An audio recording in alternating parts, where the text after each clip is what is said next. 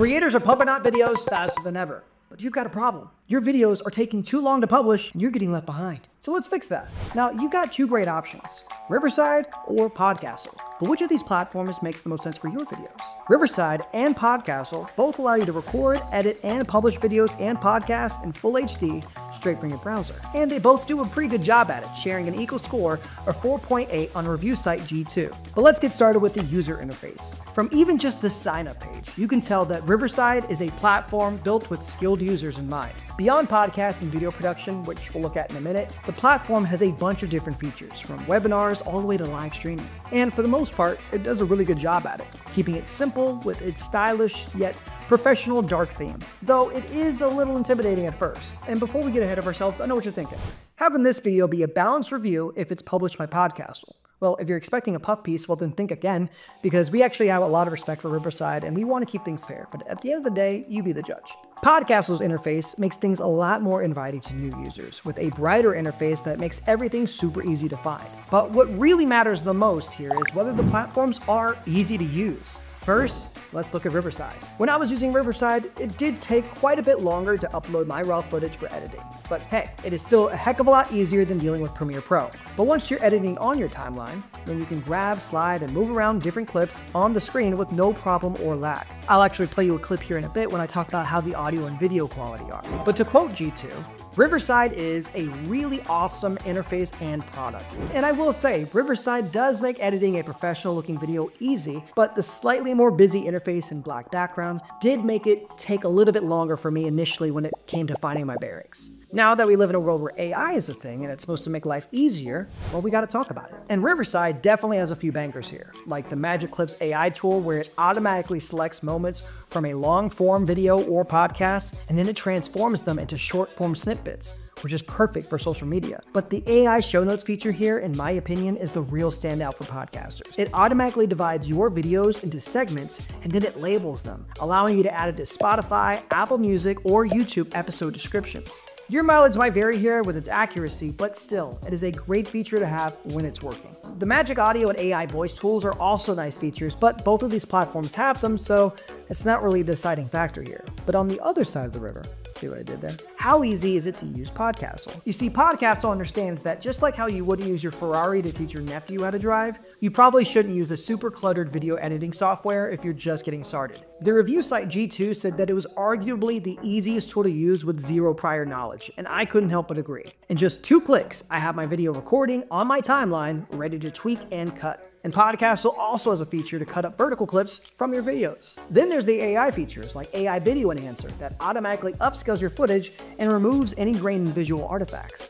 And beginning its life as a podcast platform, the AI audio tools are just as great. The Magic Dust feature was one of their first, and if you're interested, we actually have a full video going over it. But for me, hands down, it has got to be their automatic eye contact feature that really stands out. It's especially useful if you're reading off of a teleprompter, as it corrects your gaze to ensure that you're always looking at camera in a more natural way. And as someone who is always on the go, I can tell you right now, setting up an ever-changing teleprompter to match my eye line is a little easier said than done. So I know my editors and I greatly appreciate this one. You can even add a cinematic blur effect to imitate a professional digital camera. So overall, when it comes to its ease of use and its features, it really depends on what you're looking for. Both of these platforms can edit videos efficiently, but if you're looking for a more professional look with some great AI packaging tools, then I'd say give Riverside a try. But if you want a beginner-friendly platform, which has a bunch of AI tools, then you can't go wrong with Podcastle. And by the way, you can actually see how both of these tools stack up against one another amongst other major podcasting platforms in this video right there. Now, how do these platforms make your videos look and sound straight out of the box? Well, Riverside has always prided themselves on the studio quality audio recordings and high definition video, and they have every right to. But as I mentioned, it does seem to take a little bit longer to upload that video or audio to the editor, which can be annoying. But once you're in, you can expect crystal clear visuals and audio. Podcastle is no slouch either, recently upgrading their video quality to 4K, but that is saved specifically for Podcastle Pro users. But more on pricing later. Both platforms allow you to record remotely with multiple guests, and Podcastle even has a video tutorial on just that subject on the channel. Both platforms genuinely look great, but maybe you think that it comes down to their AI enhancements. Which one do you think is better? Creators are pumping out videos faster than ever. You've got a problem. Your videos are taking too long to publish and you're getting left behind. So let's fix that. Creators are pumping out videos faster than ever. But you've got a problem. Your videos are taking too long to publish, and you're getting left behind. So let's fix that. And before we get into how easy or hard it is to publish with Riverside or Podcastle, now let's take a look at pricing. Both offer three distinctive plans at different price points, but the specific prices could change depending on when you're watching this in the future. Podcastle's Forever Free plan allows you to record, edit, and publish videos or podcasts with all of its basic editing features, but it does limit you to only one AI tool, which is the filler word remover, and it comes with the maximum quality of 480p for now, which may not be ideal.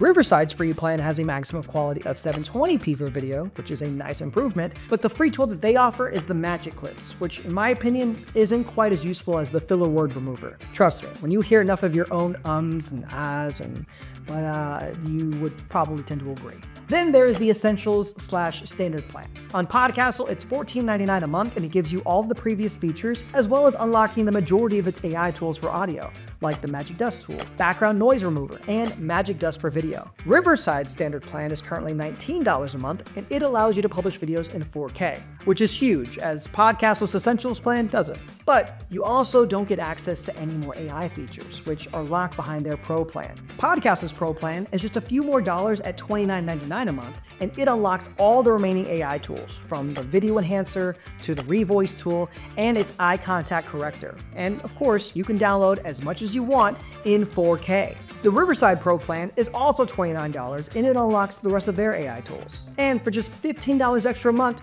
then you can get access to their 1080p live streaming, which is just limited to 720p with a watermark in the corner on their standard and their free plans. Podcastle also has an extra plan, known as its business plan, for just under $70 a month when billed annually. It offers unlimited cloud storage, but you might not need that unless you're sharing your account with a huge team. But in my opinion, most creators looking to get serious about making their content should be using the Pro plan. And I can't help but think that Podcastle is the better deal. Maybe there's no surprise there, but for me, it has more AI tools, and as someone who is also a solo content creator, those tools make more sense for me than Riverside's just from a cost perspective. And if you're interested, they've been kind enough to allow 50% off your first month of Podcastle Pro with a link down in the description. So when it comes to its ease of use in publishing and extra features, both Podcastle and Riverside have their strengths. But with Podcastle, publishing your podcast is seamless. You can directly upload your episodes to platforms like Spotify and Apple Podcasts without needing a separate hosting or publishing tool, which is a huge time saver for creators who want to get serious and streamline their workflow.